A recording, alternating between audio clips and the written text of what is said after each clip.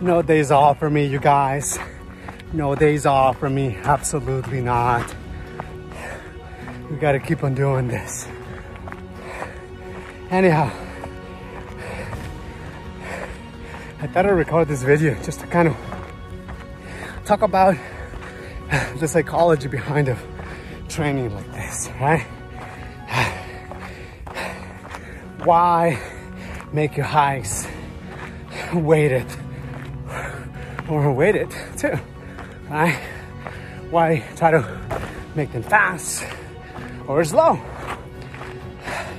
Why make them long or short?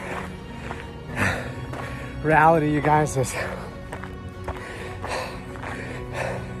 is the purpose of this is just to really train mental, mental strength. Do I have the tenacity to endure something long, long distance, something treacherous, unweighted or unweighted, right? There's just no other way around it. Oftentimes you gotta train your physical strength in order to train the mental part. But the reality is that they both go hand in hand. One doesn't make the other one easier.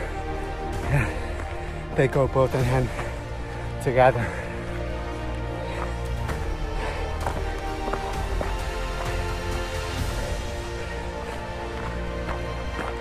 So as I prep for climbing Everest, you guys, my training over the last few months have been focused more um, building aerobic endurance, right?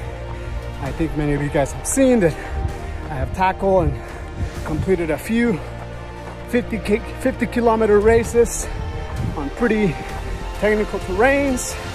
Uh, for those of you guys who don't know, a 30K translates into a 31 mile race, you guys.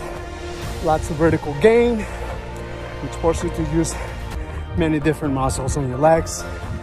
Uh, the focus of that has also been to just build big lung capacity of you guys, right?